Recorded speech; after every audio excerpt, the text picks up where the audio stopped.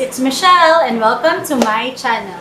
So for today's video, ang pag-uusapan natin ay ano-ano ang mga bagay na dapat mong gawin if alam mo na na ikaw ay pregnant. You should start taking na yung vitamins niyo. Meron ng mga food na bawal if alam mo na ikaw ay pregnant. Mommies, relax and try to enjoy the moment.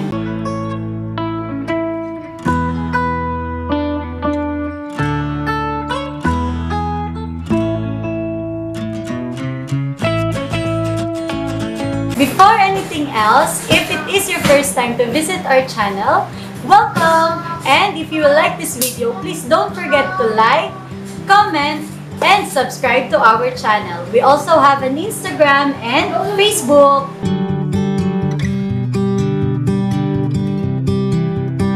So mga mommies and mommies to be, ngayong may positive pregnancy test na kayo and sure na kayo na pregnant kayo, congratulations! Ano ba ang mga first things na dapat niyong gawin? I will give five things that you should do. So stay tuned and finish this video!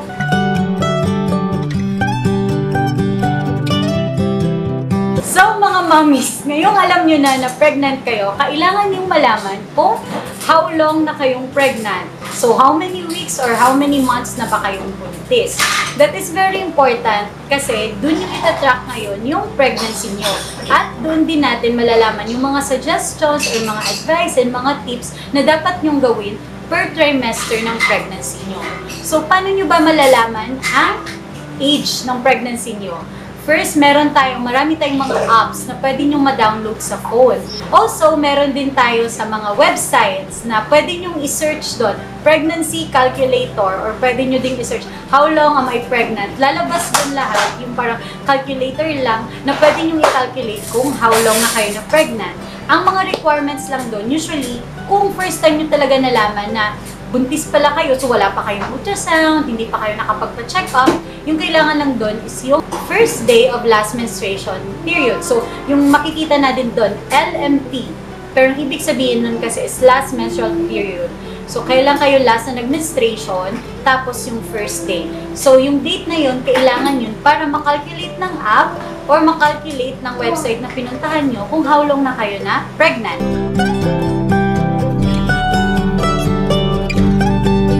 Second, you should start taking your prenatal vitamins.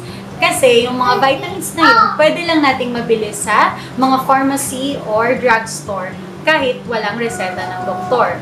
So yung mga important kasi yun is magkaroon tayo ng multivitamins. Another one is you should also start taking iron and also uh, folic acid. Ang folic acid is very important na matake nyo sa earliest ng pregnancy nyo. Kasi yun yung tumutulong para sa development ni baby. So sa brain development and even sa lahat ng development niya, folic acid is very important.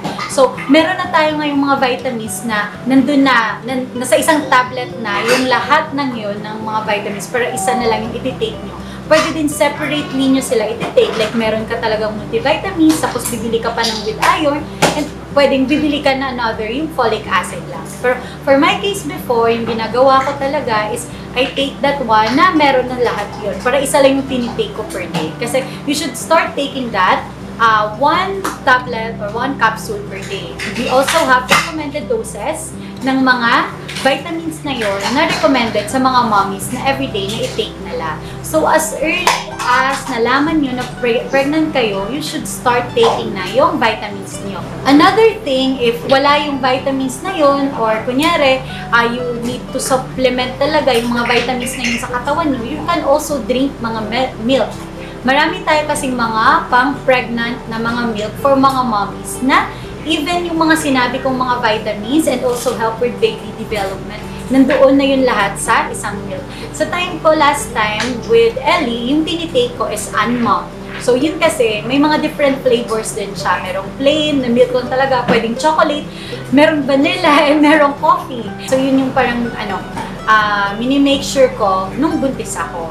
And also, very important yun kasi, kasi yun yung makakatulong ngayon sa'yo sa pregnancy mo, and especially sa development ni baby, habang nag-grow siya sa tummy mo.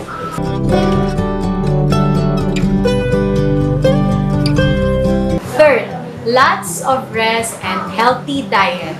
So, mommies, sa time pa nga lang na tayo lang mag-isa, kailangan na nating maging stay fit, na maging healthy, para ma-maintain natin yung sa katawan natin na hindi tayo magkasakit. Paano pa kaya ngayon na may baby na sa tummy niyo? So, dalawa na kayong inaalagaan niyo. So, ngayon, babawi talaga at mag adjust yung katawan niyo.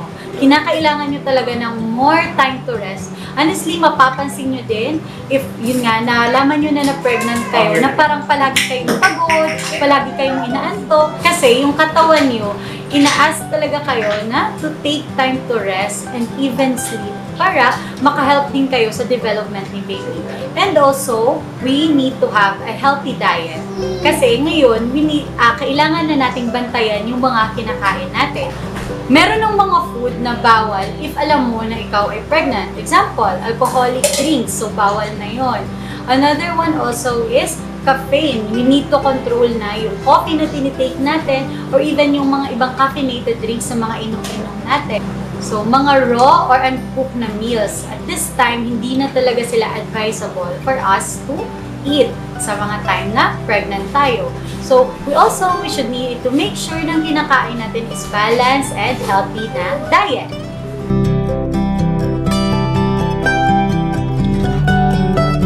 Number four, you need to set an appointment with your OB.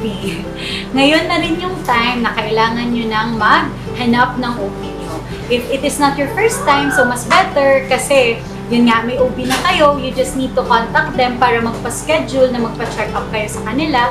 If first time nyo naman at wala pa kayong OB, ito na yung mga time na magtatanong na tayo sa mga kakilala natin, or mag-research na tayo sa mga hospitals, or even kung uh, sa mga malalapit na clinic sa atin, na if pwede na tayo makapag-set ng appointment to an OB, nakapila pa rin talaga na matingnan na tayo ng OB at malaman niya yung situation ni patient. Of course, dun din kasi kapag magpapacheck up na tayo, dun natin malalaman yung mga first things na dapat nating malaman. Doon na i-request yung mga ultrasound, yung mga laboratories na kailangan for first trimester. So that is very important. Ngayong alam mo na, find an OB na and set an appointment.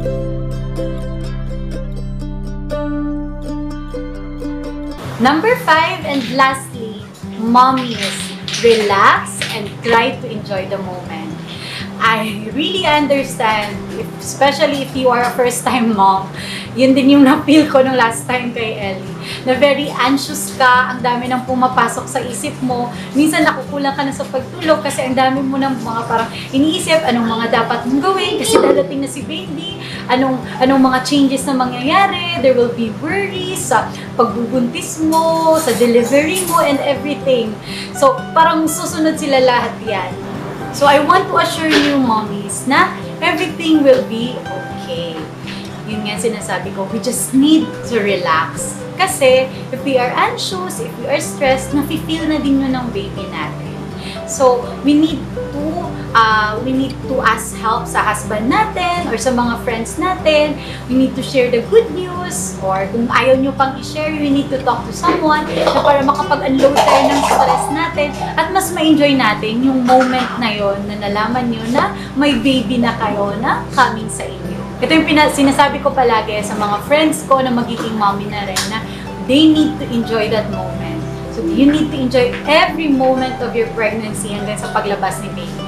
So even at your first trimester na parang lost ka, ang dami mong anxieties, ang dami mong uh, worry, uh, you need to just focus on what is important and that is you mommy na maging healthy ka sa pregnancy mo and si baby na maging maganda yung development niya and healthy siya hanggang sa pag-deliver niya. So mommies and mommies to be, I hope na helpful sa inyo ang video na to and naka-lesson sa mga worries nyo or anxieties nyo kung anong mga dapat nyo gawin. So if you enjoyed this video, please don't forget to like, comment below, share this video in your social media, and subscribe to our channel.